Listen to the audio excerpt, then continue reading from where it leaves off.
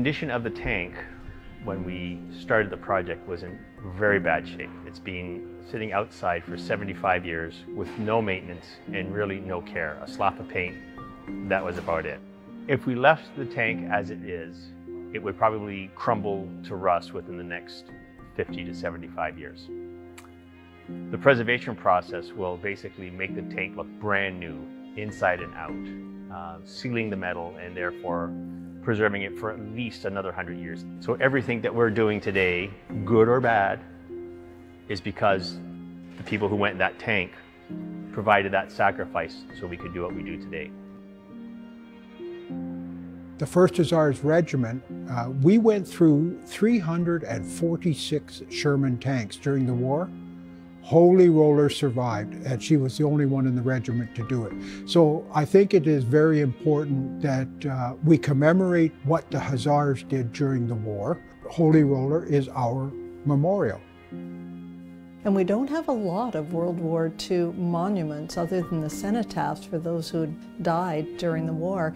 Um, this one's in some ways shows sacrifice, but it also shows the liberation of people and the liberation of particularly countries like Holland, where the Canadians were the main liberators, and those things need to be remembered. Apparently each regiment was allowed to bring back something at the end of the war that was significant to their regiment because all of the equipment that they had was left in Europe. It went down to Czechoslovakia, a lot of it still in Holland in museums. Um, uh, but so they were allowed to bring one thing back, and I imagine for most regiments it was a much smaller souvenir that came back. But for the tanker regiments, and, and as I mentioned, there are only two in Canada that brought back their tanks because a lot of these tanks didn't survive the war.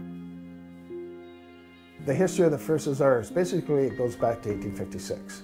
That's when the British pulled out of uh, Canada, the regular force, and we had to rely on militia. Hussars were light horsemen who patrolled the borders, so we became the first Hussars.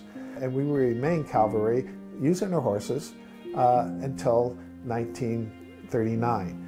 That's when the Blitzkrieg was going on with Germany, and people realized that you needed a, mechanized force. So the First Hussars became a mechanized unit. That's how we ended up going over to uh, the United Kingdom, landing at D-Day, which the Holy Roller landed at, and we fighting through Belgium, Holland, France, and Germany. And at the end of the war, the unit came back to Canada, and we brought back the Holy Roller. The Holy Roller is just as important as today as it was at the end of World War II. When you look at what's going on in the Ukraine, the people of the Ukraine are fighting for freedom, they're fighting for democracy, and they're fighting against a tyrant.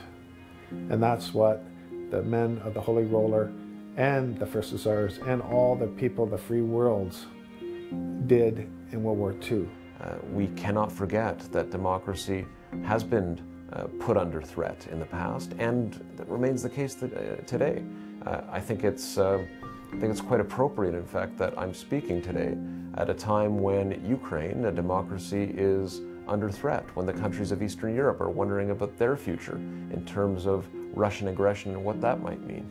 So when we look at our, our military past, we're reminded of the fact that democracy is only made possible when military, uh, military strength is, is uh, put to use when needed in a defensive way, and Canada has always been there to ensure democracy is maintained. Anytime there is a threat to international peace and security, anytime we have a war or conflict of some kind transpire, people gather at Victoria Park to express themselves.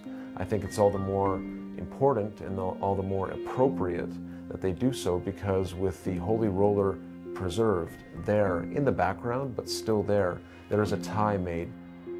We had to get the city on board. We had to get the senior members of the regiment on board uh, for, for taking it out of the park and, and redoing it. There was a lot of hesitation because, wow, could we damage it? Will we be able to put it back into a condition uh, that we can survive for another 75 years? Will we get inside it and find it's too far gone and we shouldn't have moved it in the first place? All of these things we had to overcome with technical expertise and technical detail uh, to explain to the various uh, uh, powers that uh, Holy Roller is in fact suitable for preservation and deserves to be preserved. So some of the things that we have found in the tank, uh, obviously, you know, marbles and some of the smaller things that kids have put in the tank, either they dropped them in accidentally or wanted to just put it in there to say, hey, this is cool. Uh, it's been pretty interesting, especially when we found that coin dating, what, 1796? When we first started cleaning the tank out initially, um, I'm, I'm going to give you the true story. So basically, I told the crew, when you're in there, go slowly. So like an archaeological thing, just slowly. But they got a little too enthusiastic. So they were shoveling and dumping it into the garbage bag. Well, if you picked up a full garbage bag, the bottom falls out. The bottom fell out. And for whatever reason, when they lifted it all the way up, sitting on top of all that garbage was the coin. And because it's a British tuppence and the thickness of it, it's kind of an unusual thing. And the question comes up is, why is that in there? A lot of people, uh, you will see movies where aircraft crews would have pictures of their girlfriends or their loved ones or some token of uh, good luck. Team is very cautious of what we are changing or tweaking and what stays because of the history of it. Parts that were replaced on the tank would be the uh, uh, wheels in between, uh, in the middle part of the tank. Uh, they're made out of rubber and uh, of course, old old type of rubber, and, and uh, also the uh, treads from the tank, or the track rather, and uh, because they just sitting in the park for uh, 50 plus years didn't do it any good. The track on the Holy Roller, when it came back to Canada, had to be switched, and the rubber pads on the track were put on when it came back to Canada so it could drive on the main roads. So those weren't the original tracks that came back with the Holy Roller. So we had to find original tracks and we found them in France. In a museum environment, every time you look at preserving an item, you're always looking at a balance of maintaining that item for posterity and in parts of it losing some of the history. If we brought in an airplane, uh, we'd repaint it. That means taking away the old paint and adding new paint. What we're losing is that, that touch of the old paint but we're gaining something that's going to make it a lot more easy for people to understand and take, take part in. It's not just a, a lipstick job to say it's we really are trying to do everything right. The engine grill on the back of it was never designed to sit still as a monument, so water egress into the vehicle has caused quite a bit of rust on the backside. So General Dynamics, the hull structures team, were trying to come up with a solution that again looks historically accurate, but somehow channels the water through the engine grills back in a way that it doesn't go into the vehicle and create another rust pocket again. There's a big area in the back where the uh, engine uh, used to exhaust uh, all the fumes from, uh, from the engine, and that's being kept open now with a, a large grate. Uh, at the same time, the grate is to be in the engine compartment a big catch pan that is being designed to actually catch all the water that goes through the engine grills in the back of the tank. The manufacturing techniques that they use then versus what we use now is super cool to kind of reverse engineer this thing. One of the very first hurdles we had was we need to figure out what kind of steel this is. So typically in our welding environment, we know exactly what kind of steel you're welding to and exactly what kind of wire to weld with. But uh, in this case, back in the 40s during the war effort, it was melt down anything you can and keep those tanks coming out. And we actually found an old manual for it, and it was exactly what my hunch was. And the manual stated the type of steel on the Holy Roller is a homogeneous steel. So that basically means God knows what, and it's anything that you could possibly get, and there's anything you can make this thing out of. And that's what they did. And if you take the wrong weld media to that, you'll blow straight through that steel, and then it's game over, and it's basically impossible to replace the sidewall. The scans that have been taken give uh, such an insight into the importance of the preservation project because one can see where things have come from from day one.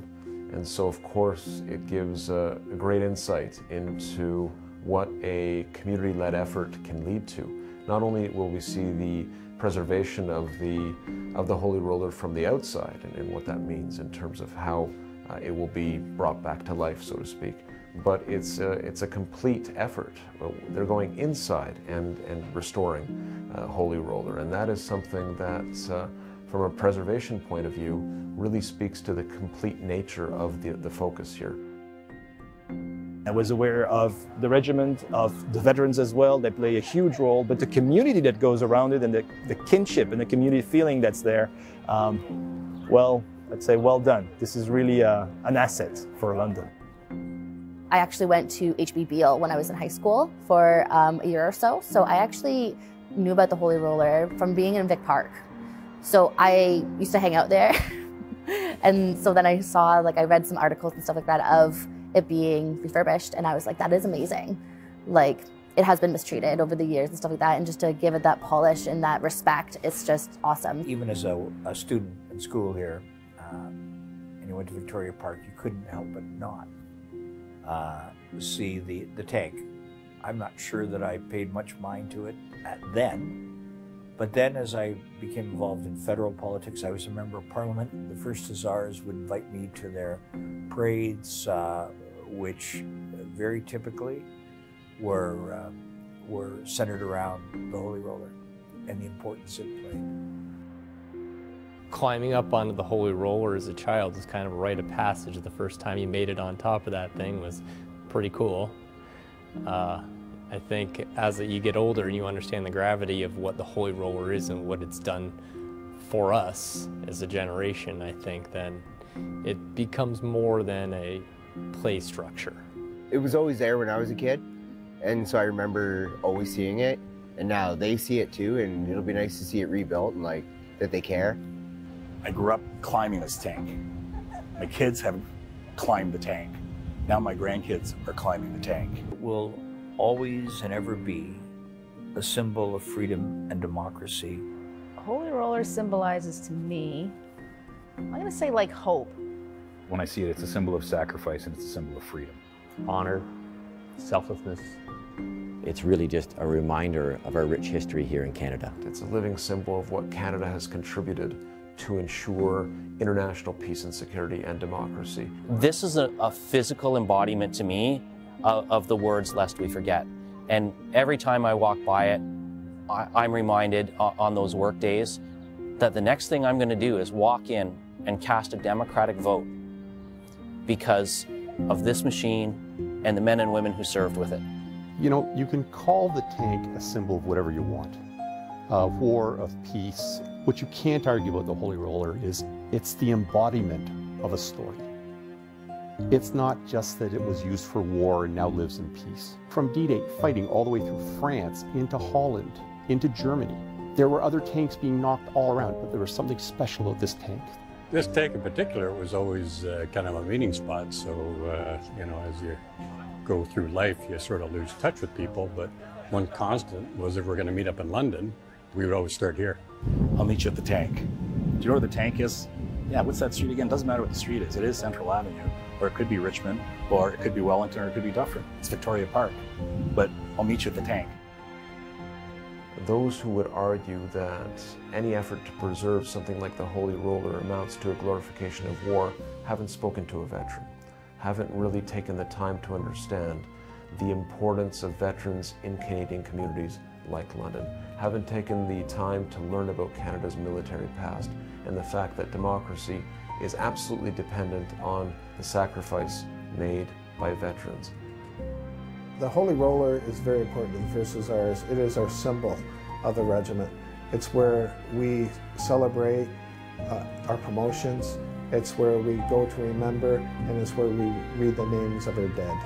And you can't get much more important than that as a uh, former uh, tank officer uh, for me to look at what's been going on with that vehicle and knowing the number of hours that were put on it, the crewmen who served in it, Uh, to me, that this is not just a piece of metal that sits on a piece of concrete in a park. Uh, this is, when I touch that vehicle, I'm hearing the words, I'm seeing the stories. Uh, men, women, they went to war in this. Uh, they put everything they had on the line. Uh, so for me, this is not just a green vehicle. Uh, this is part of the life story of tens, if not hundreds of people. And that's what's really important. Good job, guys. Good job. Good job.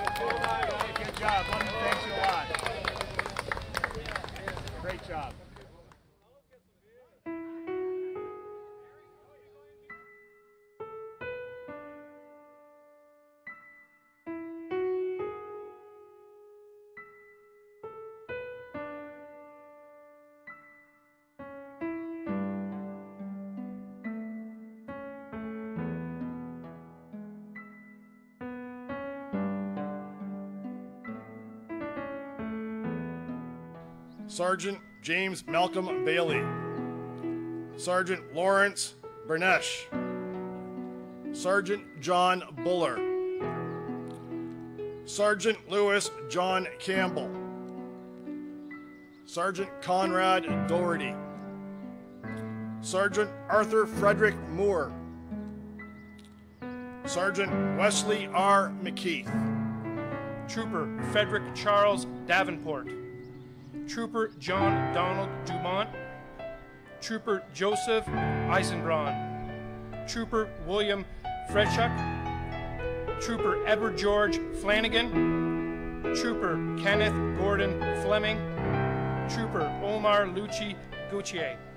Lest we forget,